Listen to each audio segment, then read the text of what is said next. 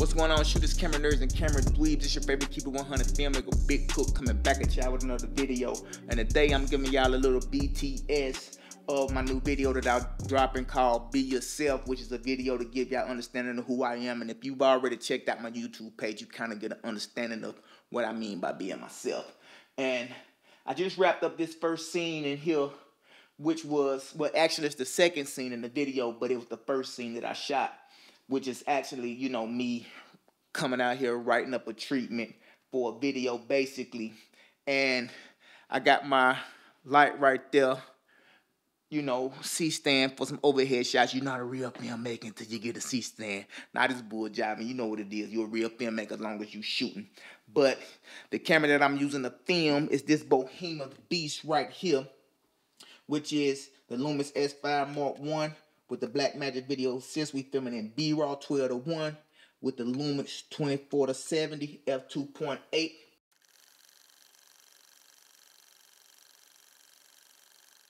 This my baby right here, big. Oh, you turning your head on me, baby? Damn, that's my baby, Big Jungle. Right here, old dog. I done had her for like going on 13 years now, but she's still kicking, doing her thing. That's my baby. She pissed. I gotta go to the store and get her some more snacks. You want some snacks, baby? I know, old. That's my baby. So now let's go in here to the next scene and get this BTS.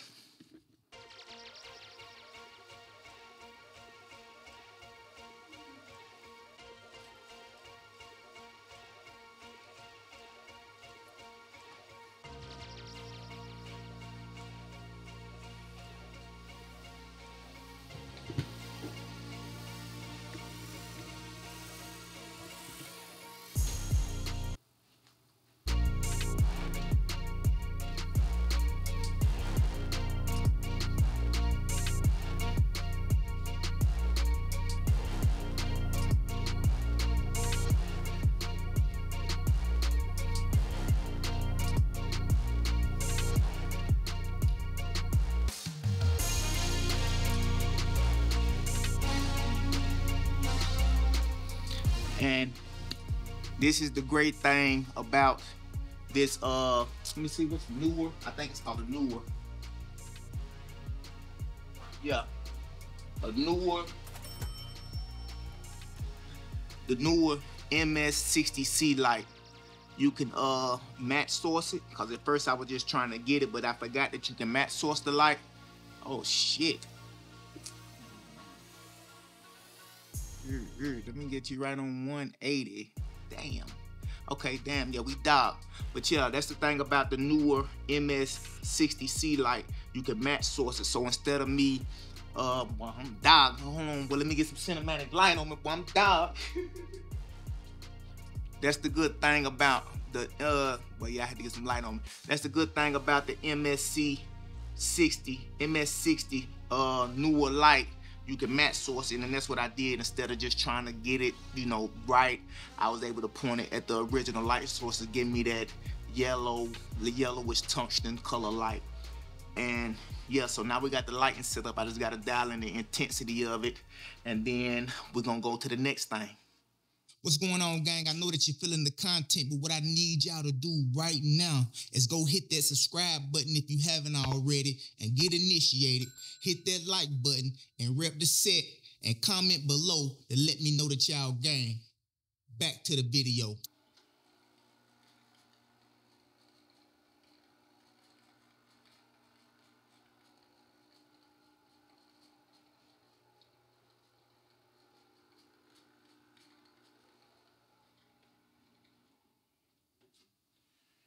And that's the next thing, getting some atmosphere in here, man. And if you're looking for a great haze machine at a low cost, get this Rock Haze 700 V2. I paid like 150 bucks for it, and it's a great haze machine. And you see how much haze I got in here?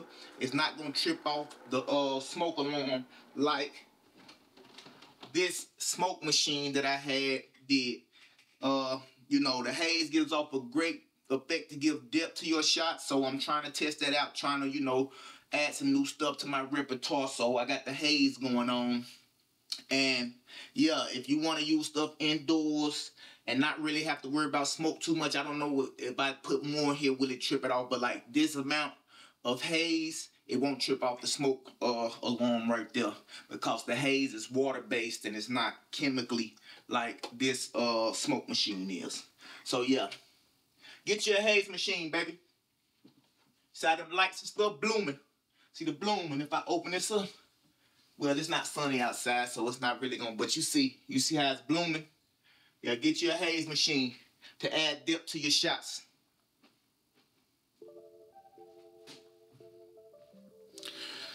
So yeah, time to get started.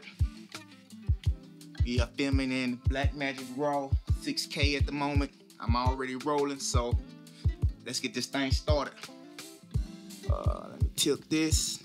And on this shot, I'm just looking at YouTube videos, doing like a lot of us do.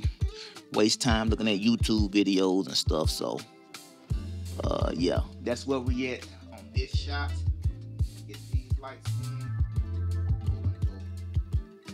Gonna go yellow on these lights while rocking the blue on those lights.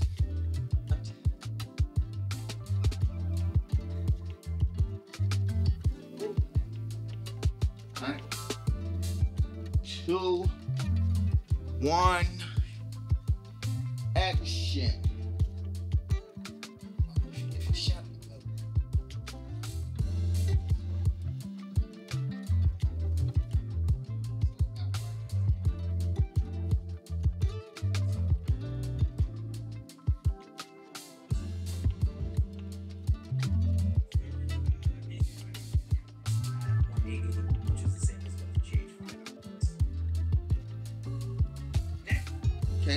That's long enough for that shot.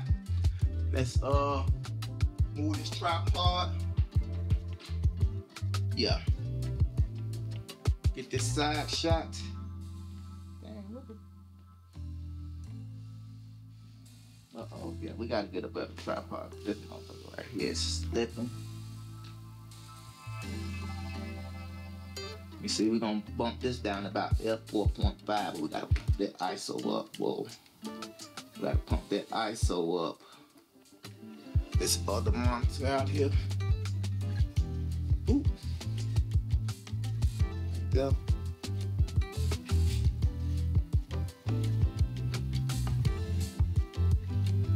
This is the electronic stabilization. This camera's in-body stabilization stabilization. This camera's in-body stabilization is absolutely phenomenal. The e-stabilization adds to that, but not with its drawbacks. Because when you use it, you get this weird line off audio output to monitor. Okay, got that. All right, so now we got the three basic shots. Uh, I might need to rehaze because I see the haze dissipating a little bit. I might need to rehaze real quick. And I gotta get one more shot.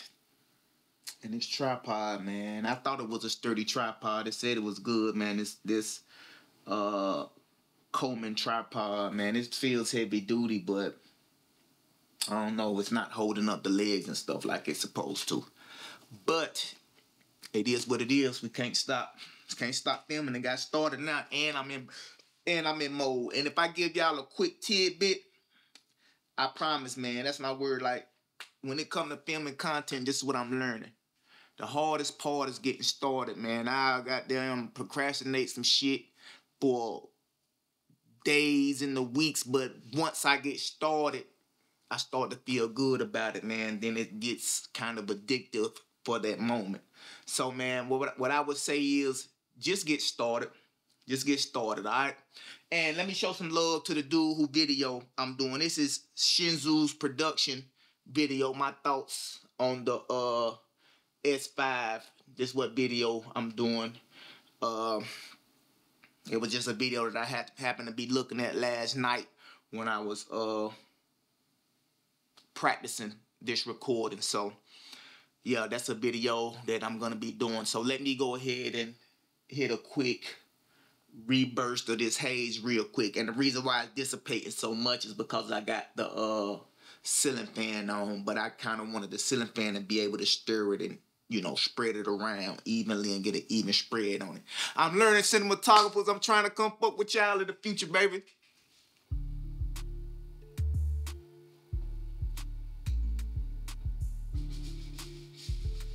Let's go.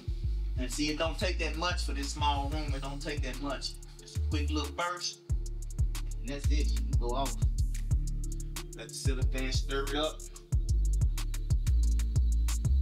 Like I, I don't want it to be too thick. You know what I'm saying? I don't want it to be too thick, but you know, I want it to look good. And I see like in this thing right here, yeah, it's that tungsten. It look good. It's that tungsten light. So we're gonna make it look good. So alright, let me uh get my next scene. Let's see what do I wanna do first. Okay, I'll go ahead and knock this off first, man. This part, this shot And this is like a POV shot. See if I can do it with the uh with the Joan on. But man, like this stuff is fun, man. And I think this is what we need to get more into, like just the having fun portion of it. And just learning how to have how to have a really good time. Let me see, let me get this in order. Shinzu, boy, please don't copyright me for using your stuff, man. You know I respect you.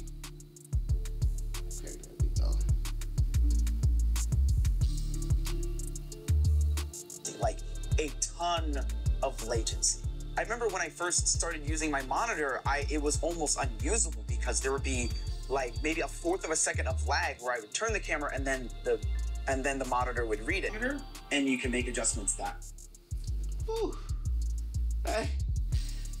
Boy, that shot, hey, that shot right there was a whole lot of beast, but Cause I'm saying I got the whole thing sitting on my chest, so I don't want to breathe so so it'll be moving around my breath. So I'm trying to hold my breath on this shot. And that thing just weighing down on my chest. I'm like, shit, what about to pass out? but when it comes to this shoot stuff, man, anything for the shot. You know what I'm saying? You gotta do what you gotta do. Okay, we got that shot out the way. Uh, what else we need? We need this one more shot too. This high shot. So what I'm gonna do is get this back on my tripod. And right now we're shooting at f4, man. Like that's one thing I'm learning about this stuff too. Every shot don't got to be at the lowest depth of field, man. So let me tighten up this tripod. Then we're gonna send this thing all the way up to get like a high shot. I should use my uh what you call it, my C-stand, but uh I don't got no weights. I don't got no weights for it yet, and I can't. I can use it with my lighter lenses, but I can't do it with my uh 24 to 70 S Pro, and that's too heavy, man, and it'll it'll flip the joint over. So we can't do that. So gotta use this up at a high angle.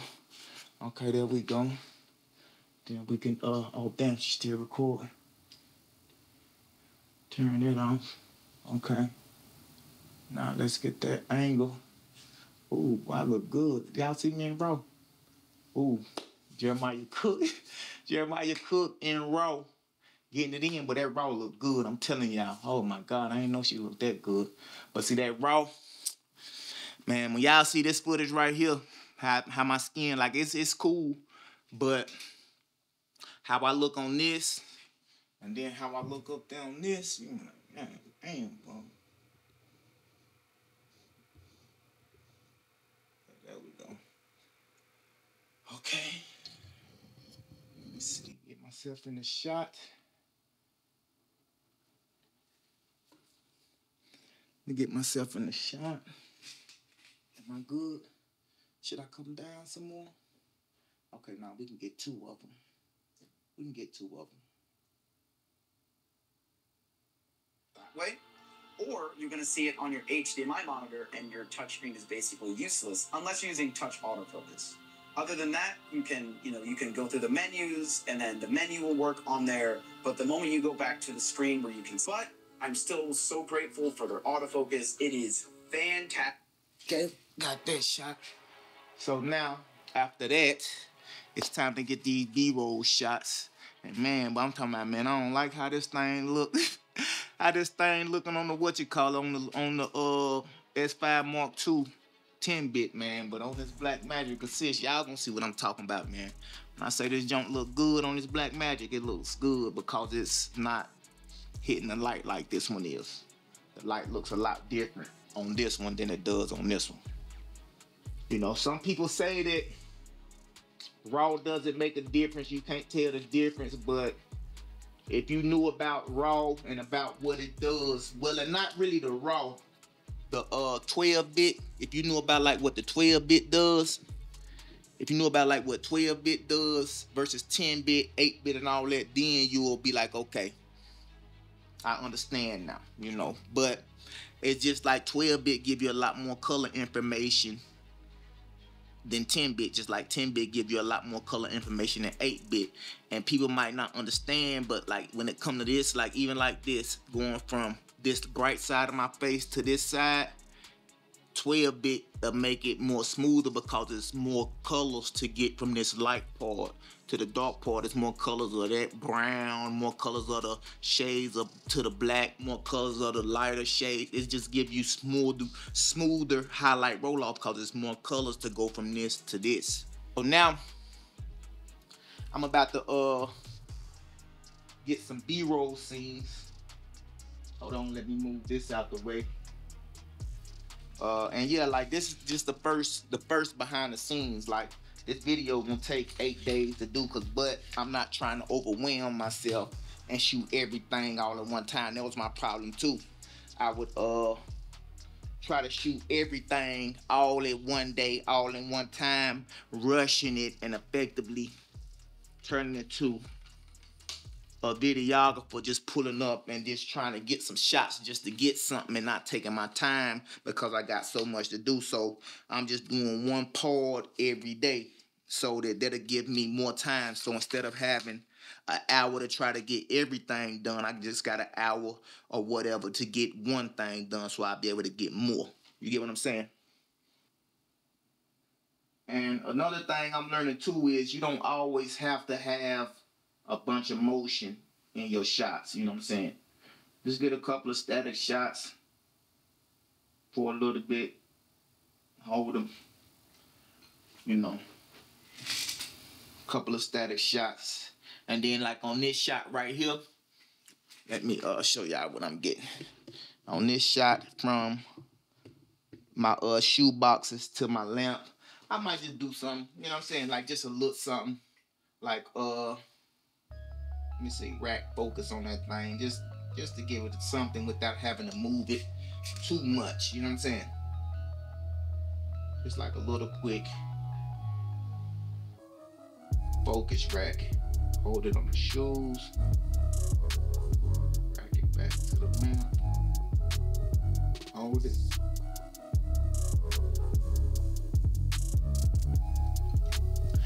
But yeah, so even like with that, man, I ain't gonna lie, like I'm having fun, man. So now I'm just gonna get a couple of more shots around here, take care of that, and we'll be done for the day. Just trying to hold these shots for like, you know, maybe 20 seconds. Oh, and I forgot, see, it's, it's that quick, but I forgot one more shot. Let me get that together. Oh, man.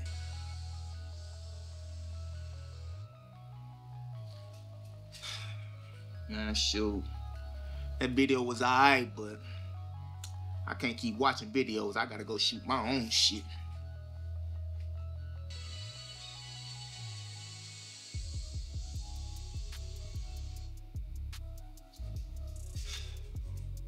And is a wrap for day one of the video shoot. I might just make little mini BTSs for y'all for each day, man. Cause I don't even lie, I don't feel like having all this shit on my computer for this whole week and saving that shit, even though I got a lot of stuff left on the card. But that was day one of my next video, shooting for my next video. Be yourself. Alright?